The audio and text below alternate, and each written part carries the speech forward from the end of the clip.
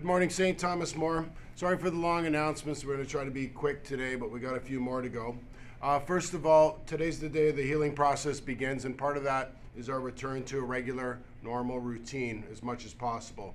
So I'm just expecting students will be in full uniform. We focus on academics. We've got final exams uh, bearing down on us, so we got to get uh, focused on our academics. And just to anybody who's, who's not fully ready for that, if you're struggling, as always, please reach out to any caring adult, but especially to the great or any member of our great, awesome student services slash guidance department. They would be very willing and able to help you through this terrible time. um, I think at this point we all just need to move forward and think of things one day at a time.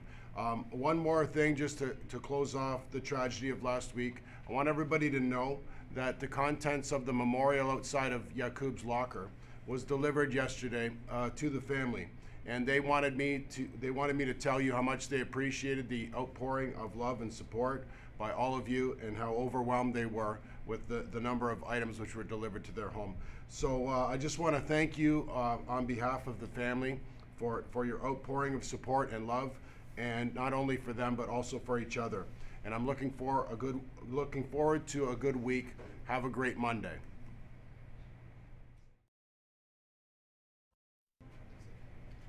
Good, morning, STM. My name is Nika, And I am Grace. and we are from the Diversity Committee. Today we celebrate Martin Luther King Day. Martin Luther King Jr. was a Baptist minister and a well known civil rights activist who had a great deal of influence on American society in the 1950s and 1960s. Martin Luther King Jr. was born January 15, 1929, and was assassinated on April 4, 1968. King will be remembered for his leadership in his many nonviolent protests to end segregation and his famous I Have a Dream speech. He was awarded the Nobel Peace Prize in 1964. King's short life was filled with great accomplishments. He worked tirelessly to promote equal treatment of all races. He was a great man who made history not only in America, but the world, and we honor him today with one of his inspirational videos. Thank you, STM.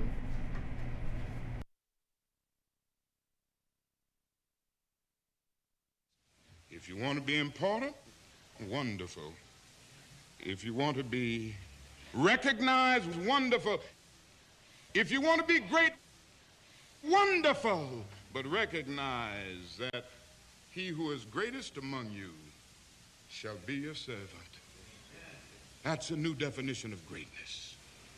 By giving that definition of greatness, it means that everybody can be great because everybody can serve.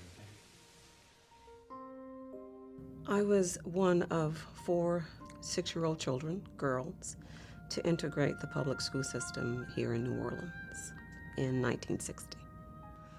When I look at the Norman Rockwell painting and I see myself, I always say that the lesson I took away was a lesson that Dr. King tried to teach all of us. And that was that we should never look at a person and judge them by the color of their skin. I crossed a picket line, a mob every day for a whole year. There was a woman there to greet me. She did everything she could to make my day fun. She not only taught me, but she read stories to me. We played games. I knew that if I got past the mob and inside of the building, I was going to have a great day. And it was because of her. So she showed me her heart. And I began to realize that there was no way she was like the people outside. I couldn't judge her the same way. And so I believe at that moment, I learned the lesson that Dr. King died trying to teach us.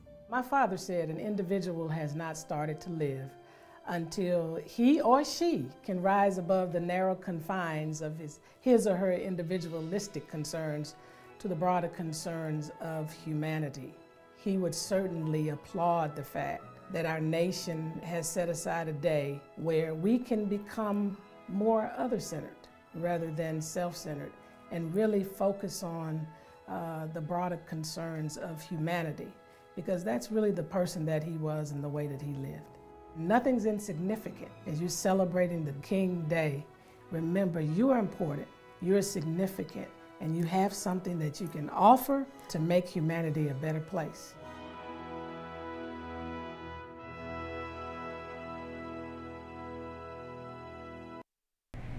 Good morning, STM. My name is Maria, and here are your announcements for today. Computer Programming Club will meet on Monday, January 16th from 2:45 p.m. to 3:45 p.m. in room 204. A reminder to all cheerleaders of the mandatory meeting this Wednesday right after school in room 338. That's right, this Wednesday in room 338. See you there.